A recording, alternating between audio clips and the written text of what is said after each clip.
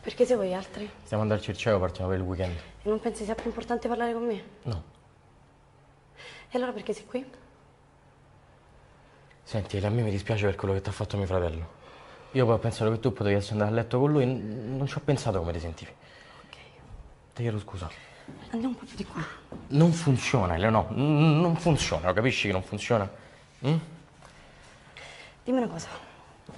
È finita? Perché? perché tu non ti sei fidata di me, adesso io non, non mi voglio fidare di te. Punto. Adesso ho capito perché fai lo stronzo. Me ne posso andare per piacere? Tu stai solo. Io ok.